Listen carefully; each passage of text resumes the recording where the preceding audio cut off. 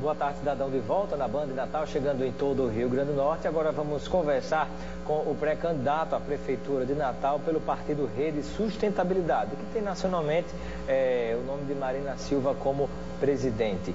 E eu dou boa tarde ao convidado, que é pré-candidato Freitas Júnior à Prefeitura de Natal.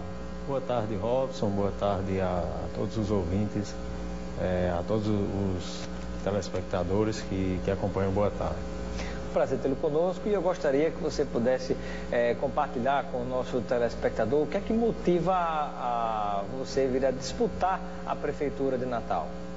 Olha, Robson, o, a população ela tem nos últimos anos dado sérios indícios de que está descontente com, com a situação política do, do Brasil.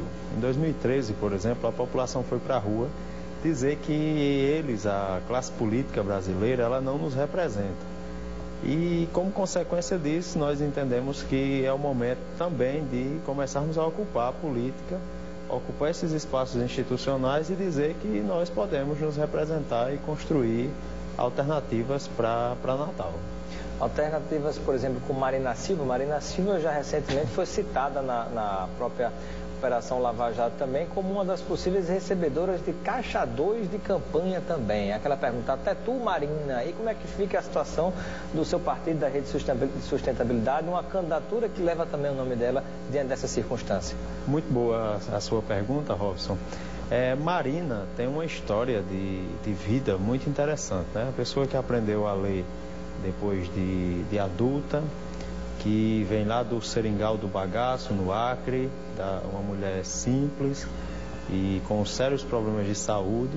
Entretanto, toda a sua vida nunca teve o seu nome associado a nenhum escândalo ou a nenhum grupo criminoso, diferente da grande maioria dos políticos brasileiros.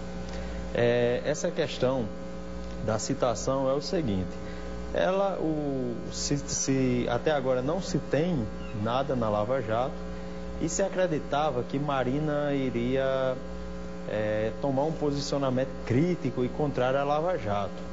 E o pensamento era esse, era daqueles que gostam, que estão implicados na Lava Jato e que acham que Marina ia nivelar a política por baixo. Mas com Marina foi diferente, com a rede está sendo diferente.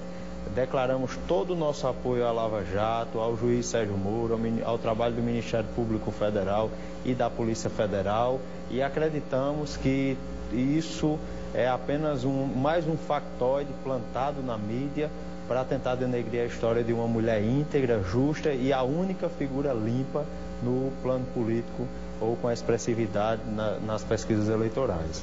Algumas pessoas é, ligadas a partidos políticos diversos, quando colocam seu nome à disposição para disputar é, mandato prefeitura de Natal, em alguns momentos determinadas candidaturas servem para ser usadas por outras para bater num terceiro candidato. Outras candidaturas é, acabam assumindo o papel de criar um, um, tentar criar um espaço, ter um pouco de visibilidade para depois somar com um candidato ou com outro.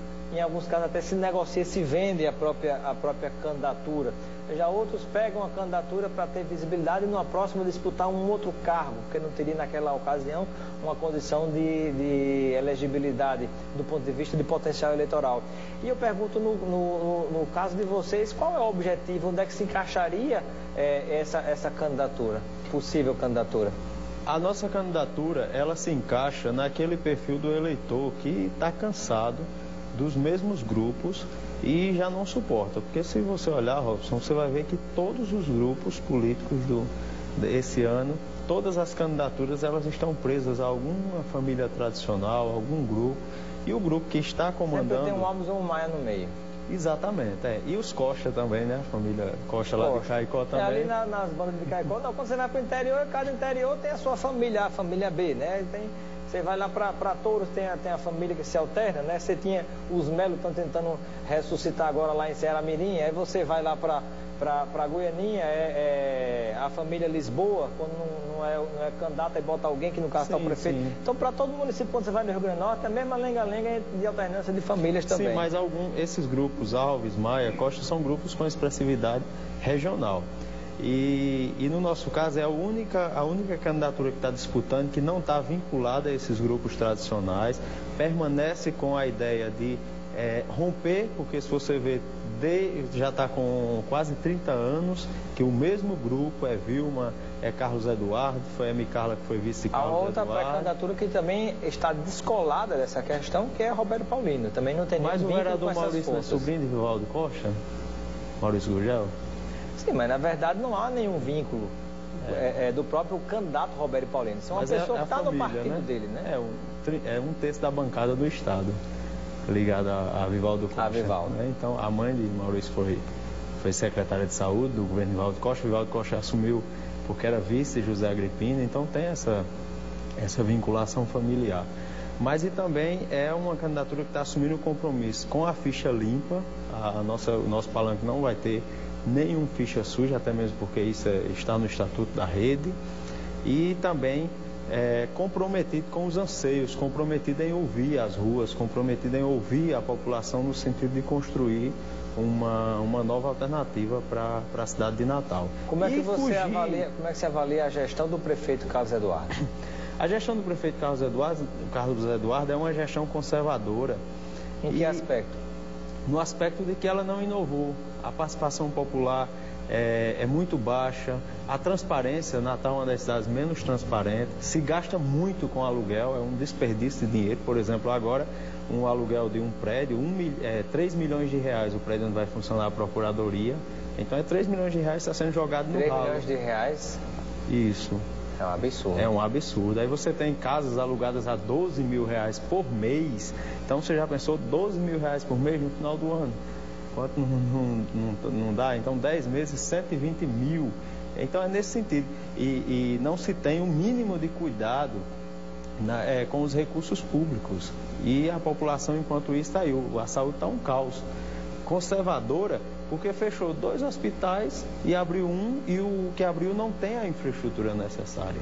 Na verdade, foi um jogo de, de soma zero, né? Você desmantelou dois hospitais jogou tudo dentro de um balaio só de um hospital que não tem logística, não tem nem vaga de estacionamento. Eu acho incrível como é que a CEMUB, que é tão exigente com relação à vaga de estacionamento, faz aquela marmota que foi aquele hospital de Natal e, na verdade, a funcionalidade não atende à expectativa Exatamente. da população. Exatamente. E aí você tem a questão do transporte. Natal não tem licitação para transporte público. Como é que pode funcionar como é que o, o problema do trânsito vai ser solucionado se a gente não tiver transporte público. Há dificuldade para fazer concessões, por exemplo, as concessões poderiam ser facilitado para quem tem um pequeno um, um, poder aquisitivo baixo, como forma de facilitar que as pessoas tenham uma cigarreira, as pessoas tenham um, um, o transporte as, as permissões também de, de, transporte como forma de facilitar e movimentar mais a economia e resolver o problema não só do desemprego, como outros problemas, como o transporte também.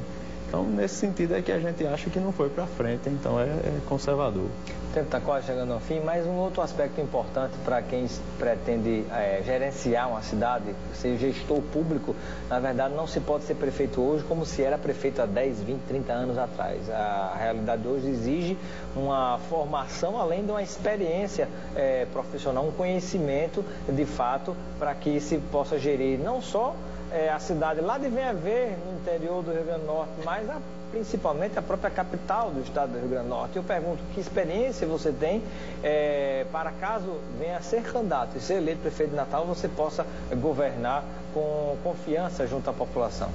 É, realmente a, a legislação avançou, a, o Ministério Público tem se tornado mais, mais criterioso a cada dia mais e a própria população. Hoje em dia já, não, já se exige um grau de transparência, de informação muito maior do que alguns anos atrás. De forma que, do ponto de vista burocrático, tanto faz você ser prefeito de Vinha Verde, de Viçosa, como ser de Natal ou de São Paulo. É nessa, você vai ter uma equipe maior, claro, uma maior quantidade de recursos. Teoricamente, na verdade, porque mas... na prática é bem diferente. Se administrar Venha Verde, administrar Natal. Mas a minha pergunta é, do que experiência vista... você tem que apresenta ao povo de Natal que justificam a candidatura do sua? Do ponto de vista técnico, como eu estava dizendo, tanto faz porque se exige, o, o, Tribunal de Contas é o mesmo, as exigências são as mesmas. Mas a complexidade Agora, dos problemas são completamente diferentes. O diferencial para qualquer gestor, e principalmente para Natal, que é uma cidade já com quase quase um milhão de habitantes, é que o gestor conheça a realidade da cidade.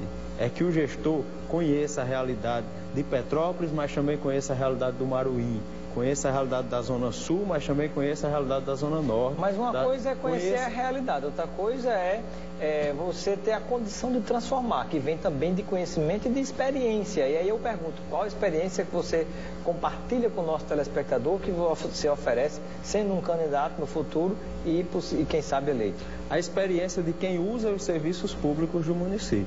Porque por que, que o transporte não funciona? Por que, que a saúde não funciona? Porque os nossos políticos não usam esse serviço. Nunca, na realidade, utilizaram o serviço. Sempre foram usuários de sistema privado de ensino, sistema privado de saúde, transporte individual. E eu, se eu hoje sou funcionário público, é porque estudei, eh, foi um, um processo meritocrático, todas as funções que eu ocupei foram através do meu mérito, do meu esforço, e da mesma forma a cidade vai funcionar, os serviços públicos vão funcionar porque é uma decisão política de quem conhece a cidade, de quem conhece e utiliza os serviços públicos da cidade. Agradeço a participação do nosso segundo convidado de hoje, o Freitas Júnior, que é pré-candidato à Prefeitura de Natal pelo Partido Rede Sustentabilidade. Muito obrigado pela sua presença. Muito obrigado a você, Robson, e muito obrigado a todos os, os nossos amigos que acompanham. Ficamos por aqui. Muito obrigado pela sua audiência, né, horário alternativo e programa excepcionalmente gravado devido à transmissão pela Rede Bandeirantes Nacional da Eurocopa. Um grande abraço, continue com a nossa programação e até amanhã de volta com Boa Tarde, cidadão.